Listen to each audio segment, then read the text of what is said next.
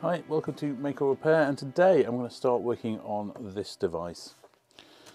So you may have seen this on the mailbag. This is a Photodyne model 1975 XQ optical attenuator. Now this is partly a repair video but in fact as we'll see later I come a bit stuck on an insurmountable object but nevertheless I think it's still pretty good as a teardown and it gives a chance as well to look at some of the fault finding that I, that I go about in order to identify various reusable and various mm, hopeless parts of the circuit. But anyway, let's take a, a look at this. I mean, cosmetically, it doesn't look too bad.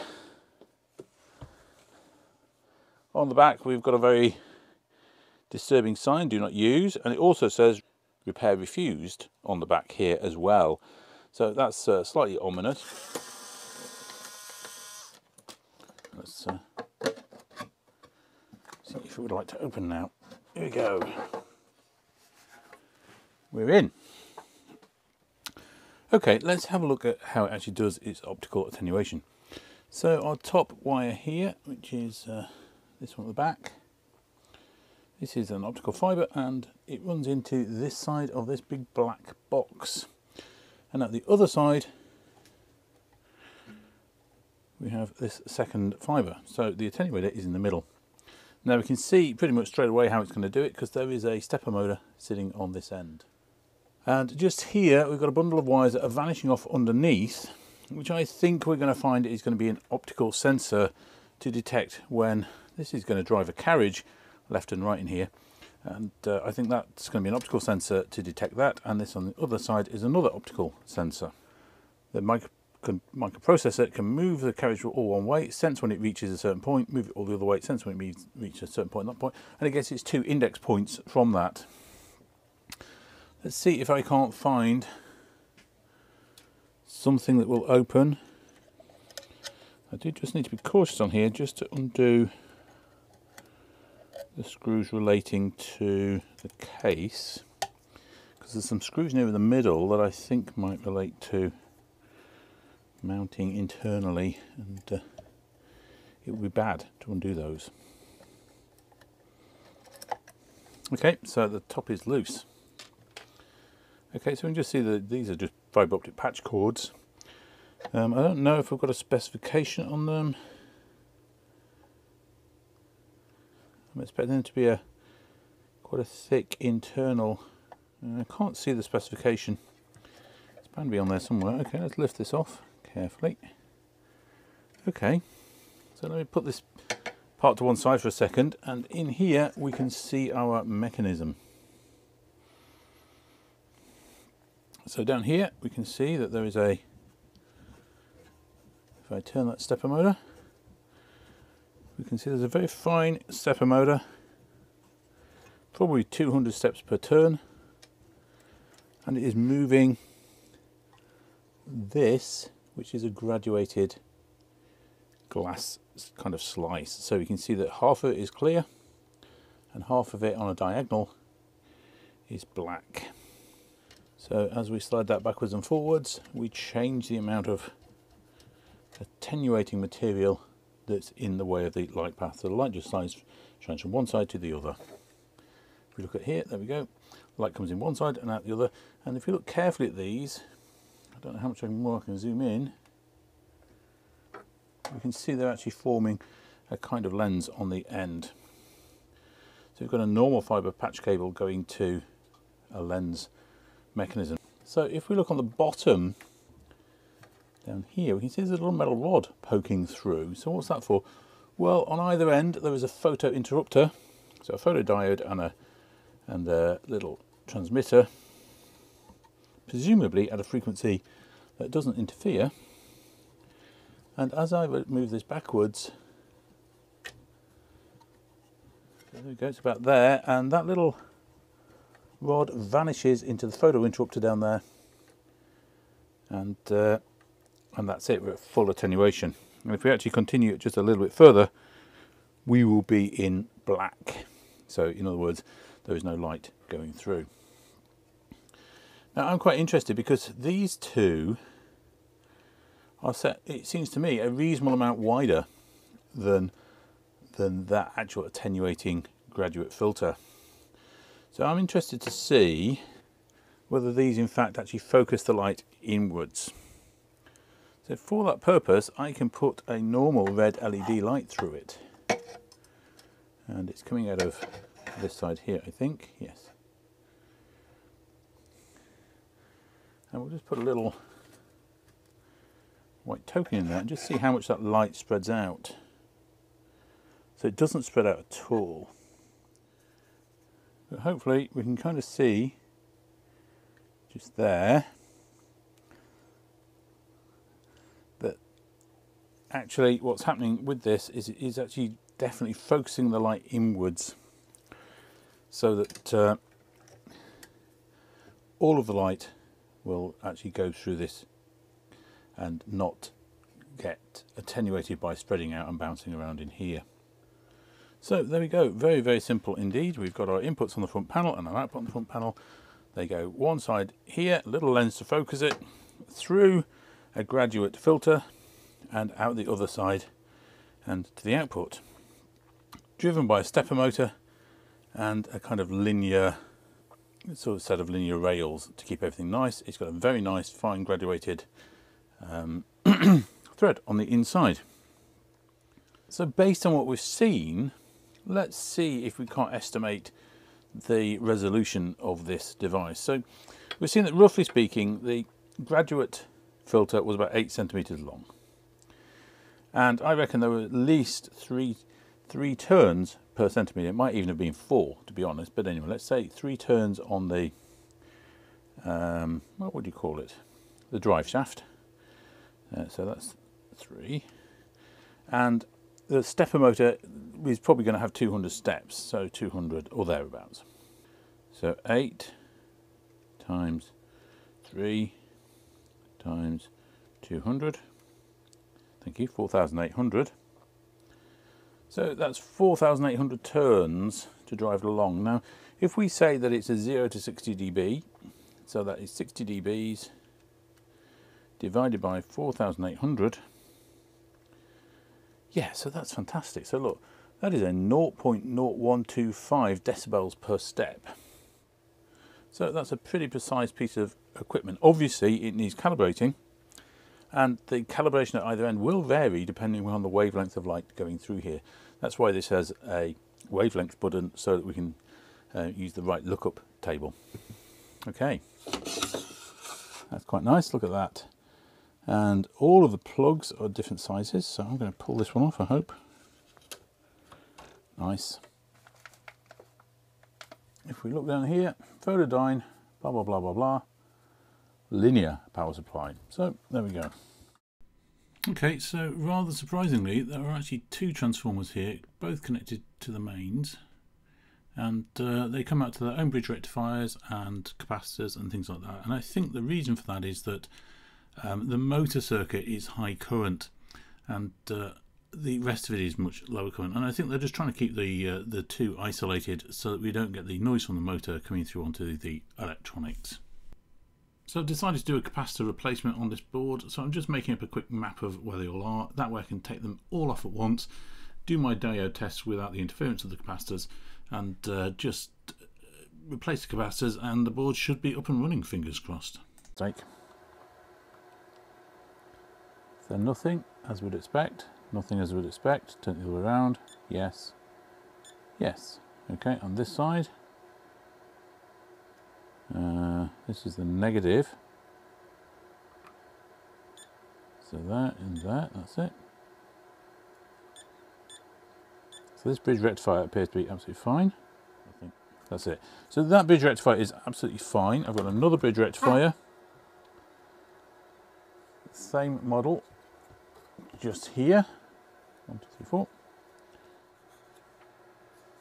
So essentially this is the minus 12 and this is the 12 volt regulator.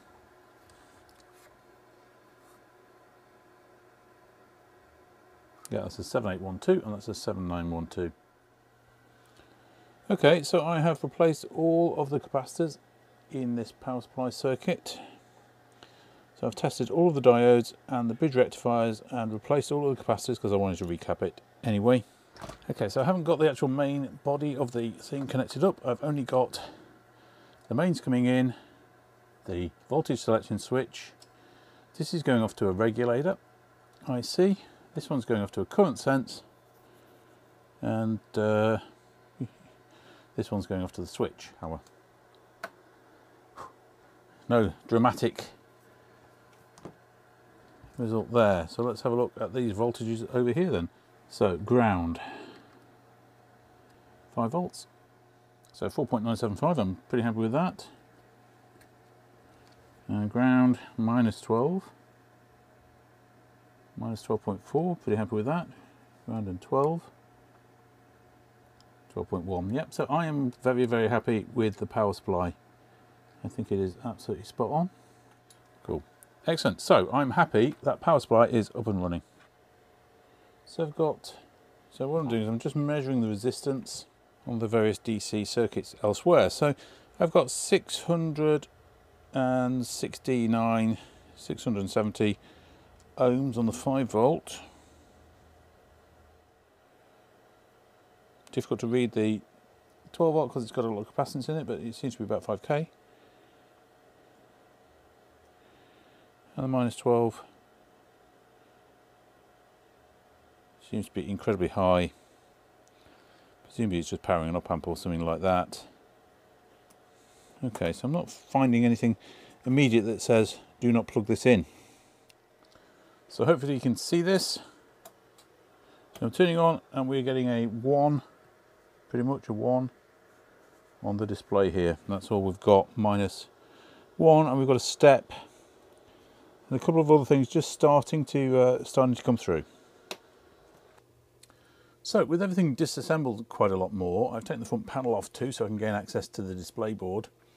So just here we've got the power supply board and uh, yeah, quite a bit of smoothing capacitors and things like that. And uh, yeah, there's not a lot else there really.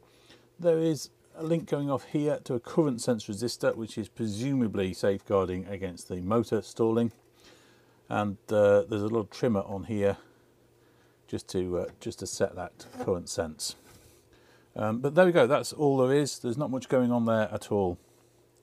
And uh, the power just goes over here and onto this back plane. But okay, so we've got that, and then we go here. This first card is our microprocessing board. So all the processing is done on there. And then back here we've got another card which has basically got motor drivers on it.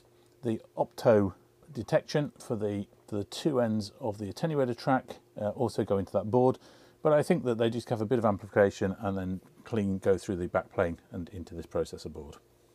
Let's take a look and, uh, at the processor board in a second but uh, over here we've got the display board so we've got a very large display on it and uh, so that's an LCD display uh, and it's seven segment display lots of characters and a few annunciators and things like that and then we've got two devices here driving that. These are ICM uh, 7123s, both the same.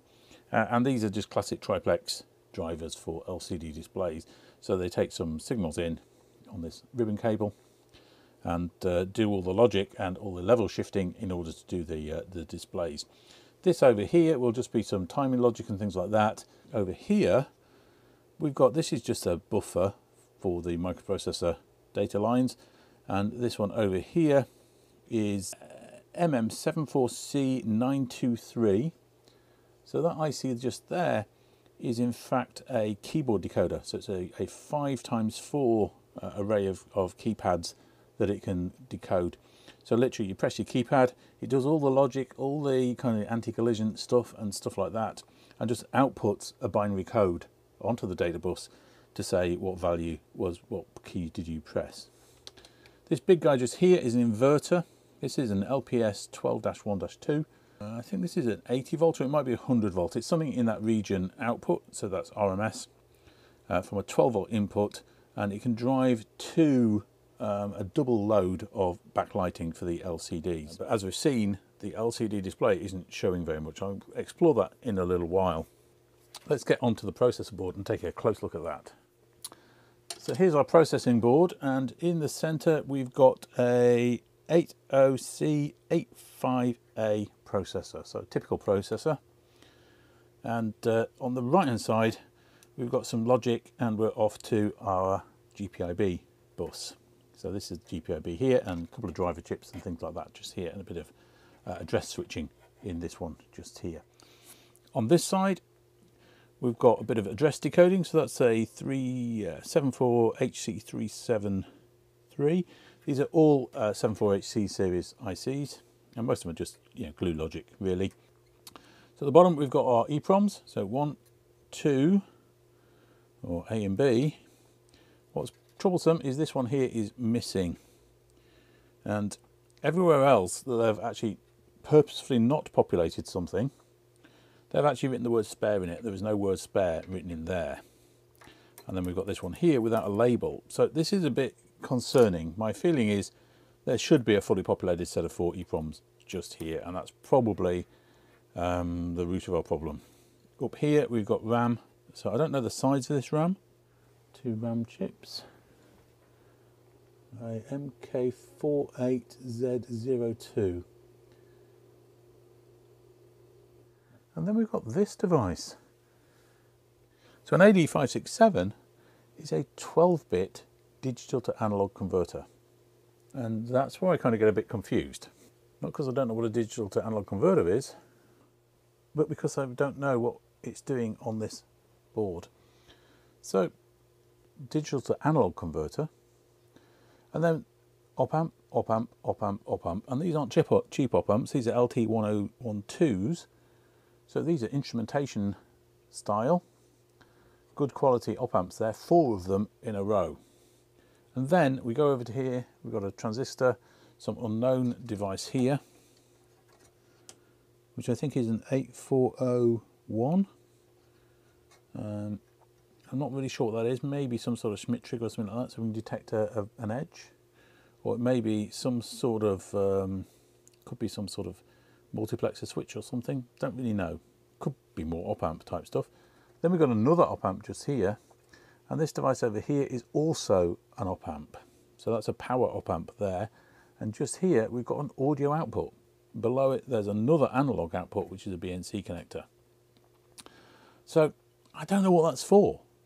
Uh, and if I look on the front panel, I can't see anything that it might indicate. So some of these would drive, some, some model of attenuator would drive things like external um, reflection devices so you could you could model different amount of reflection on your lines, or they might sort of, for example, if there's modulation on the signal coming through, they might actually pick out and demodulate that.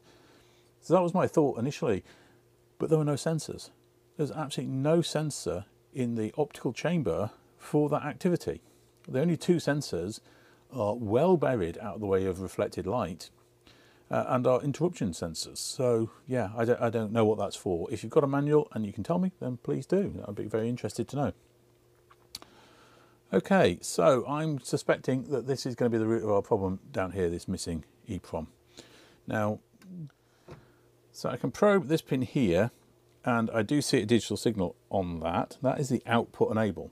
Chip select will be decoding which one to pick. So if I come down to pins, yeah, I've got chip select so that chip is trying to be used.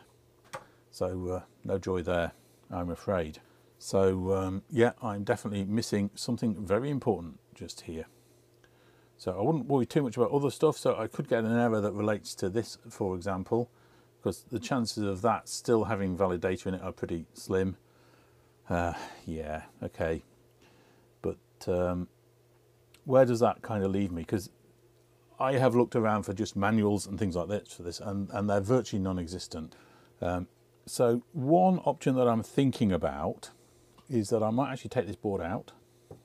If the rest of it is okay, then I might take this board out and actually put a new processor board in. Not one of these, but one built around perhaps a microcontroller or possibly even something as advanced as uh, a Raspberry Pi, perhaps, because there's actually not that much going on here. We want to drive, we want a keypad that we can input some uh, attenuation on, or we want to sweep an attenuation over time, but that's just steps and dwell times. So it's not rocket science.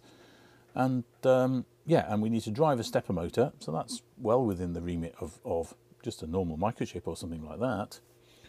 And uh, yeah, we'd like some communication with the outside world perhaps, but that could be serial port or a USB or an Ethernet connection or something like that. And we've got plenty of room in here. Physically, we've got a lot of room to do something. I think that kind of feels like an option here, but it'd be useful, I think, then to just take a few uh, additional evaluations. I can't really do much with the motor board without actually kind of progressing on a long way. So the motor board is here and basically there are four transistors driving our stepper motor and it looks like there might actually be a so buried down in here TD62803P which I'm gonna guess is a stepper motor driver. So I think that's it. We've just got our driver IC buried down there. We've got a couple of big um, resistors for the power supply and we've got some transistors um, conveniently mounted over the side which I think are just the, the power transistors for, the, for this. Not a lot I can do with that until I get some valid signals running through. If I'm going to build something of my own on this then I'll have to take this out, trace through all the ground, all the backplane and just understand how those signals pass through. But a big question that arises is whether this board here, which is the display board, um, is actually working okay. So we've got our two um, display controllers here. These are the ICM 7231s. Backlight wise then, so I'm not too worried about that. This is an LPS12-1-2, so this is about 80 odd volts output, RMS, might be 100 volts, I can't remember. The dash 2 means it's capable of, of doing um, two lighting loads. So, um, so this is a big LCD, so it's going to be two lighting loads. So we input 12 volts, it does an inversion and it outputs nearly 100 volts. On here, which is the output from the relay going to the inverter, I've got nothing. This is the input to the relay, there's my 12 volts I'm expecting. So I'm just going to short that across. Let's see if we've got backlight. We have not got backlight. I'll put this down gently. There's our 100 volts roughly. So that inverter is definitely working. What is not working is the backlight. Okay, so that's uh, the first thing. We know the backlight isn't working. Okay, because my displays are really faint. So pin 2 has the display so just here is pin 2 input. Now we know that we're getting E01 just about on the front screen. So we know that kind of this sort of works. So let's have a look at our signals on BP1, 2 and 3. And also we can have a look over here as well on these other sides. Okay, so here is an input on one of the address lines. So this is normal digital data just coming in on these lines really. So now let's have a look at BP1, BP2. So these are the back planes. So there's our back plane, four different levels.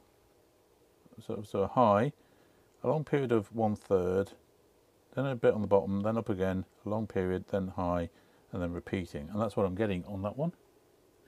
Then up a bit, yeah, and then down a lot. Yeah, and that's right, that's correct for that uh, pin.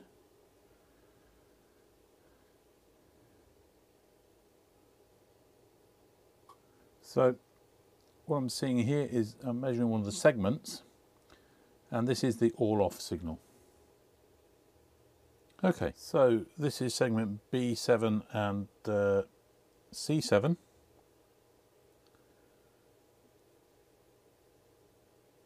That's an all on, so that should be a, you know a bunch of stuff all all turned on. One, one, two. So that is A 5, G5 and D5, receiving the codes for error 01, plus a few annunciators, it's getting them successfully here, it's translating them successfully into outputs along here, it's passing it to the LCD, and the LCD is not displaying them how we want them to be displayed. So okay, this is the uh, this is the keyboard system. So on the left we've got one, two, three, four, five. These are the rows, and down here, column 1, column 2, column 3, column 4. There's a keyboard bounce mask here. Um, so we connect that essentially to a capacitor um, and that debounces the keypad. We've got output enable and data out up here. So um, five lines of data outputs. So we can do uh, binary coded decimal between um, 0 and for nothing pressed and oh, 1101. That's reading backwards, sorry. Um, and we've got a data available pin on pin 13, so that might be worth having a little look at. Yep, so the keypad reader is actually working. As I press buttons, I change the binary code. Super, right. So I was kind of wondering why we'd got this IC at all, because this is a uh, 74HC0244. So this is an 8-bit buffer, three-state buffer, going onto the data lines from the processor. And it's next to the keyboard device.